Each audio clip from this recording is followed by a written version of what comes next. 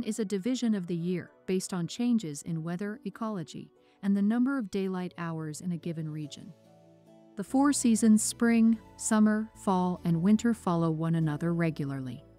Each has its own light, temperature, and weather patterns that repeat yearly. We all might have heard about the equinox and solstice. The equinox and solstice define the transitions between the seasons of the astronomical calendar and are a key part of the Earth's orbit around the Sun. The equinoxes are the only time when both the northern and southern hemispheres experience roughly equal amounts of daytime and nighttime. And the solstices are the planet's longest and shortest days of the year. Have you ever wondered how seasons are happening? The seasons on Earth change because the planet is slightly tilted on its axis as it travels around the Sun. This means different points on Earth receive more or less sunlight at different times of year. If Earth were not tilted, the Sun would always appear to be directly above the equator. The amount of light a given location receives would be fixed, and there would be no seasons. Before moving forward to the equinox and solstice, we will quickly go through some important terms used further in this topic. The first one is the equator. An equator is a circle of latitude that divides Earth into the northern and southern hemispheres. Next one is the rotational axis. The rotational axis of Earth is the imaginary line that passes through both the North Pole and South Pole. Now let's see what an Earth's rotation means. Earth's rotation or Earth's spin is the rotation of planet Earth around its own axis, as well as changes in the orientation of the rotation axis in space. If viewed from above the North Pole, the Earth turns counterclockwise, and from above the South Pole, the Earth turns clockwise. Now we will see what Earth's orbit means. An orbit is the path an object follows as it moves around another one. Earth moves in an elliptical shape around the Sun once every 365.25 days. We call that path Earth's orbit. Earth orbits the Sun at an average distance of 149.60 million kilometers in a counterclockwise direction as viewed from above the Northern Hemisphere during which time Earth has traveled 940 million kilometers. Next point is the ecliptic plane or orbital plane. The orbital plane of a revolving body is the geometric plane in which its orbit lies. Next is the orbital axis. An orbital axis is the line perpendicular to its orbital plane. Now we will see what an axial tilt means. In astronomy, axial tilt, also known as obliquity, is the angle between an object's rotational axis and its orbital axis, which is the line perpendicular to its orbital plane. Equivalently, it is the angle between its equatorial plane and orbital plane. The Earth's obliquity or axial tilt is 23.44 degrees. Now we will see what an axial parallelism means. Axial parallelism, also called gyroscopic stiffness, inertia, or rigidity, or rigidity in space, is the characteristic of a rotating body in which the direction of the axis of rotation remains fixed as the object moves through space. Another term to measure here is subsolar point. The subsolar point on a planet is when its sun looks like it is directly overhead. Next is the Tropic of Cancer. The Tropic of Cancer, also known as the Northern Tropic, is the most northerly circle of latitude on Earth at which the sun can be directly overhead. This is approximately 23 degree 27 minute north of Earth's equator. Next is the Tropic of Capricorn. The Tropic of Capricorn is the southernmost circle of latitude on Earth at which the sun can be directly overhead. This is approximately 23 degree 27 minutes south of Earth's equator.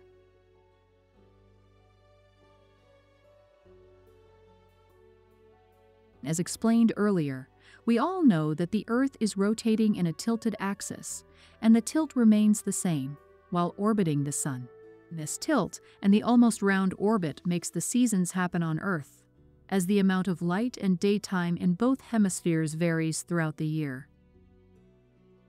For about six months in a year, the North Pole is tilted toward the Sun, and the Sun lies somewhere above the Northern Hemisphere. For the other six months, the South Pole is tilted toward the Sun, and the Sun lies somewhere overhead in the Southern Hemisphere. It is a gradual shift. That means the tilt will increase from 0 to 23.44 in about three months' time and back to zero in the next three months and the same thing continues in the next six months. In other words, the subsolar point continuously varies between the Tropic of Cancer and the Tropic of Capricorn throughout the year. An equinox happens on the days when the Earth's axis tilt is zero, and solstice is when the north or south pole tilt towards the sun is at its maximum. That means there will be two equinoxes and solstices every year. The equinoxes are on March 19th, 20th, or 21st, and September 22nd or 23rd, and the solstices on June 20th or 21st, and December 21st or 22nd. We will start with the equinox. Equinox descends from equus, the Latin word for equal or even, and nox, the Latin word for night, a fitting history for a word that describes days of the year when the daytime and nighttime are equal in length. On Earth, there are two equinoxes every year one around March 19, 20, or 21, and another around September 22 or 23. We have different definitions for equinox. Here are some of them. An equinox is an event in which a planet's subsolar point passes through its equator. It is the two times of the year when the Earth's axis is tilted neither toward nor away from the Sun. It is the two times of the year when the center of the sun is directly above the equator, and day and night are approximately equal in length. All of them are true in their own perspective. Composing all these, equinox is an event that happens twice a year, when the daytime and nighttime are equal in length, and occurs due to Earth's rotation, axial tilt, and axial parallelism. Let's start with the equinox that happens on March. Let's assume there are three axes for Earth. We can call them as x-axis, y-axis, and z-axis. And here the Earth's axial tilt is in y-axis and is 23.44 degrees in YZ plane. As we see in the video, on this particular day, the YZ plane becomes perpendicular to the sun rays. And This makes the subsolar point pass through the equator equal amount of sunlight in both hemispheres, equal amount of day and night throughout Earth. We can see these red dots placed in different parts of the Earth's surface takes equal amounts of time for day and night. This means the day and night time is equal on this particular day throughout Earth.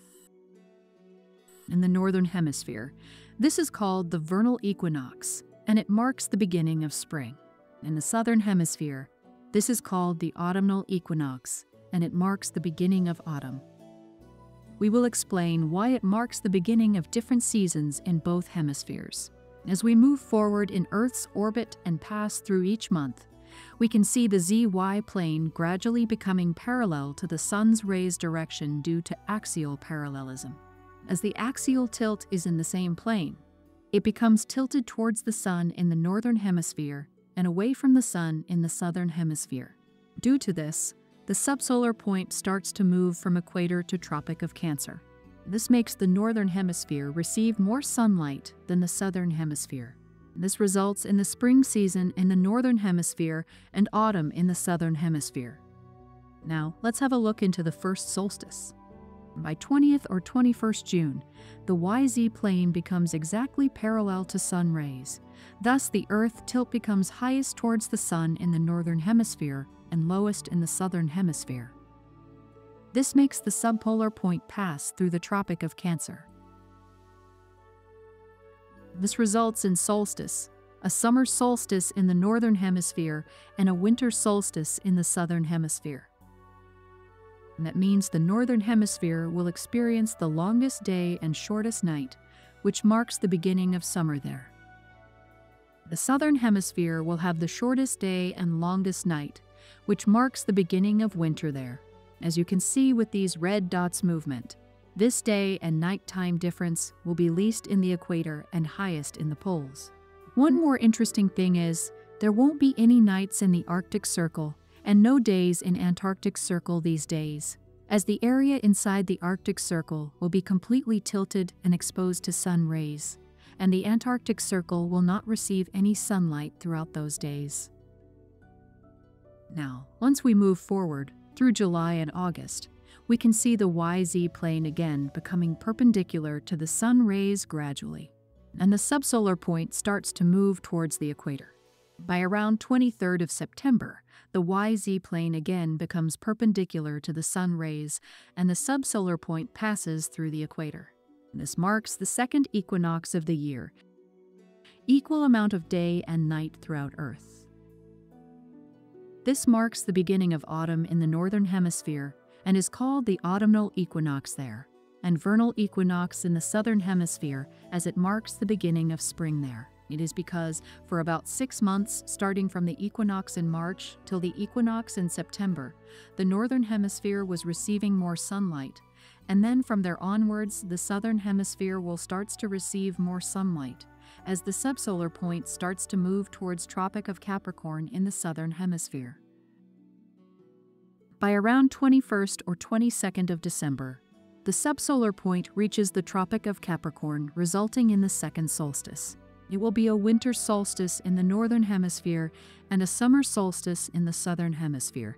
That means the northern hemisphere will experience the shortest day and longest night, which marks the beginning of winter there. The southern hemisphere will have the longest day and shortest night, which marks the beginning of summer there. And as you see, there will be all night towards the Arctic Circle and all day towards the Antarctic Circle during this time. As we move forward through the next few months, we can see the YZ plane again becoming perpendicular to the sun rays gradually, and the subsolar point starts to move towards the equator. We will experience winter in the northern hemisphere and summer in the southern hemisphere, and the cycle will continue through next year's equinox on March. Now let's see the whole events in a single shot.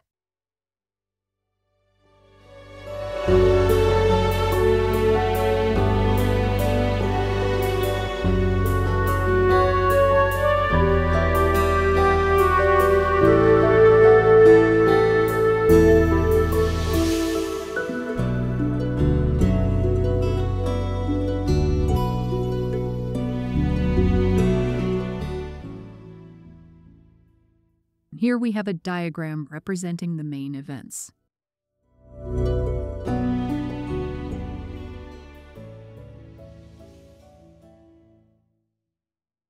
Please like and subscribe to our channel. Thanks for watching.